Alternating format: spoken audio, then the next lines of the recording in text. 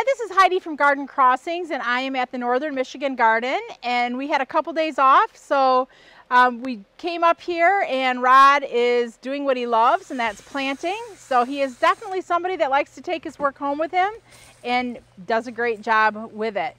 So it just started to rain so I'm hoping to get a couple videos in before it gets too rainy just to show you the progress of what he's done this year.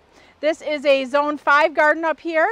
So the things that are in this garden are reflected to zone 5. Up here by the house, the perennials all came through the winter very well. Uh, things we have in here are veronica, some heuchera, Hakonechloa grass, some ferns, and then a hosta. Things that we poked in just so we have consistent color throughout the summer are the polka dot plant in the rose, red, and white. We did some SunPatiens purple, SunPatiens White. And then let's see. Oh, we planted a new perennial, that dark perennial there by the, the walkway. That is the dark side of the moon astilbe. So I'm excited to see how that does. So this area, I think it's really nice. And I love the foliage in this area. All those bright chartreuses and such look really pretty. In the crescent planter that I did a video on earlier of rod planting, We've got this cool little black wispy, I don't even know what it is. It's a tropical house plant we found. Um, so we did that as the thriller. And then we did the Monarch's Banquet Asclepias because there's a lot of butterflies up here. And we've got the really pretty geraniums with that rose and white. We did some Creeping Jenny to, to hang over the pot and that ma uh, matches nicely with that Hakonechloa grass. And then we've got the Bossa Nova white begonias. So this area I think is just a really nice bright splash of color. So it's really welcoming as we drive up the driveway. This area here as well has a lot of color going on. Um, we'll start way back in that far corner. Rod planted a ton of caladiums along the back of that house, of the house, and that red really pops nicely up against that blue. In the very back corner, there's a rhododendron, and that has really taken a beating since uh, two, two winters ago, the deer ate it, and then it got trampled down, so we just really trimmed it back hard, and um, so it's just starting to regrow. So I'm excited to watch as that regrows. Let's see, we have anemone in that very far corner. We planted a new Jacob's Ladder. This is a new one for 2023 with that beautiful variegated foliage. We haven't seen it bloom yet because we just got them in. So that will be fun to watch. We've got some Shasta daisies along with some heuchera that are right behind the deck. And then we've got these salvia that are blooming. And that looks really pretty. Behind it is the Bobo hydrangea. And they're in flower or bud right now. That's because they were grown in the greenhouse. So typically that's going to be like a July, August bloomer. But we're just going to leave them in flower because that's how they are right now. So they'll be flowering early this year. Uh, he tucked in some of the Surefire Red Begonias.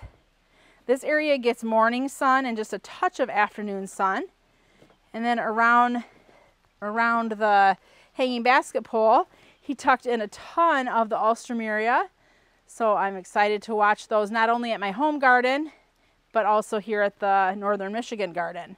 Those are going to be annuals. They're mostly zone 8 hardy. So I know they're not going to overwinter, but I'm excited to watch them flower. There's a few SunPatiens Purple, some Monarda, and then he also did a huge clump of the Dipladenias. I'm not sure how they're going to do in the ground, so we'll see. Um, but they'll look pretty once they start flowering with that red. And we got beautiful white sun patiens. Along the edge here, he put some of the gold dust, so that's going to be a ground cover annual. That's going to be yellow. Got these beautiful dianthus blooming. Let's see if I can tell what color they are. With the tag here, Paint the Town Fancy. So those are really nice. And then in this container, we have again the same thriller, that black tall house plant, tropical. And then he put some caladium in.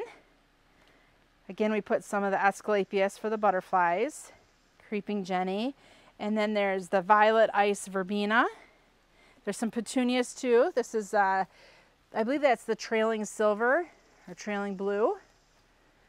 There's an Angelonia that's not blooming yet. So that will look really pretty as that continues to fill out the summer as well. So I'm really excited to see how this area continues to color up and fill out throughout the summer. I think so far Rod's done a really great job of creating an instant impact of color though in this space since when we get up here it's you know it's already June so we want to have color once we get up. So let's take a walk back to the back garden. We're going to start off this garden tour right at the road. So in this garden we do have deer that browse. So we'll see how these things continue to do throughout the summer. Last year they did fairly well. Uh, so we'll see how that works this year. Um, I haven't seen a ton of deer like right up in our area, like right in our yard area, but in the woods and stuff all around us, there are hundreds of deer. So hopefully they just stay away. Although I did kind of create a little, uh, a Rod created a little salad bar for them here. So what we did right at the road is we created a red, white, and blue garden using the SunPatiens red, SunPatiens white, and then the Lobelia compact blue with eye. As we head down a little bit, we've got the hot pink SunPatiens. That bright green you're seeing, that's Aralia Sun King. So that's a great shade perennial. We have a bunch of caladiums there with some of the black uh, sweet potato vine. That's the jet black. More SunPatiens just lining the drive. And then when we, two years ago, we planted clematis and they're starting to grow nicely. The one we have blooming here in front of us, this is Still Waters. And then on the ground there, that is Clematis viva polonia. So this is fairly-ish shady, so they would do a lot better if they were in full sun. And these are fairly immature plants as well. Uh, so we'll see how they continue to put on more flowers throughout the summer, but really they're just adding a little splash of color because they're not getting near enough sun to do the full display of color that a clematis normally would do. The front garden bed that lines the road, we emptied a lot of the things out of here last year and poked in a lot of the shrubs that we like. Um, what we did leave is we did leave the ornamental grasses because they give a lot of really cool fall color. So some of the plants that we have in this garden now are the Sun Patience. Lysimachia creeping Jenny is the yellow you're seeing. We planted some allium. That's blue bubbles. It's not blooming yet, uh, but that will be a summer bloomer. There's some salvia unplugged pink. There is the Jacob's Ladder Heaven Sent. Some leucanthemum. And then we put some creeping phlox in here to give that spring color. The orange you're seeing is Campfire Bidens. The plants we put in for structure are Little Lime Punch and Invincibelle uh, Garnetta. So they're very immature right now, but they'll continue to grow and fill this area in. The variegated foliage with the yellow and red, that is the Monarch Banquet Asclepias. That's an annual but that will be great for the butterflies that we have around. We've got the compact, uh, or the mini Vista white. Some irises that were here, we left them because that's nice spring color. There's some salvia and cleome. In the middle there is the Garnetta hydrangea. Let's see, he planted something. Oh, around the sign here, this is Gomphrena, which will be kind of a really wispy pink flower when it's flowering. Some more salvia. So really we kind of took into account the butterflies when we were planting up this space.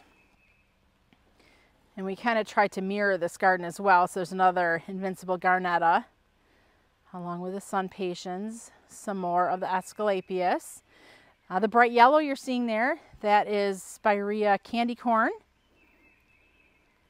Some more creeping phlox for the spring color, along with Heaven Sent Jacob's Ladder. And then as we take the corner here, we've got some salvia, along with the creeping Jenny, the pink phlox, and then some of the compact blue lobelia. So this area is quite a nice splash of color as people drive past, and it definitely creates some attention to this garden bed. Let's take a walk to the front of the house and see what we have planted there. So Rod had a lot of fun planting this space. Uh, this was actually originally planted two years ago. So pretty much most of the perennials and shrubs in this garden bed are about two years old. So some of the plants we put in here for foundation were, let's actually, let's head to the far side of this garden and I'll walk our way this back through it and explain to you what we got a little bit better. So in the back corner here, we planted a Rose of Sharon and that doesn't look like it's coming back. We'll leave it there and see. Uh, Rose of Sharon are deer resistant, so that's why we planted that there. We wanted to create kind of a barrier so that if deer do come in this area that they couldn't get into this garden. So obviously we'll have to maybe plant another one or see if that one comes back. Uh, he tucked in some of the Surefire red begonias. Heuchera. Spirea are also a deer resistant shrub. So here are three different spireas. This is the double play doozy. And then he poked a bunch of annuals in for color. So there's bubblegum, some sun patiens. I think that's coral sun super bells. There's some creeping phlox that gave us early color. And then on the edge of this bed, he did a bunch of Vista Jazzberry. So those are going to look super once that fills out with a major mass of beautiful color just edging this bed. Other things in this bed, we have, let's look at the back here up against the wall. There is a bunch of Bobo hydrangeas. So the back is lined with Bobo hydrangeas. And then we have a smooth hydrangea there. I believe that's going to be, oh, probably like Garnetta or Ruby. We'll see once it blooms what color it is. And then he packed in the annuals so that there won't be any space showing but petunias with the shrubs poking through. We've got a bunch of coneflower that we kind of weaved through this bed. So those will be blooming during the summer. There's some Monarda and some some phlox. That's the opening act phlox. And then right behind the petunias, we did a bunch of pugsters, pugster blue. So those will be blooming midsummer a few of the corbels. Those came back really nice. The corbels did. And here's a few more of the echinacea. And then on this end over here, he kind of continued with more of that coral sun superbells and then phlox and monarda. So the bed is kind of ish just waking up. It's the beginning of June. So not a whole lot of color except for the annual color that Rod just popped into here. Uh, but it'll be fun to watch as this continues to fill out and color up throughout the summer. So I hope you enjoyed this walk through the Northern Michigan garden with me. If you have any questions, leave comments below. I'd love to help answer any questions you might have. Um, stay tuned to more videos that will be coming and we'll be walking you through this garden again within the next couple weeks or so. This is Heidi from Garden Crossings.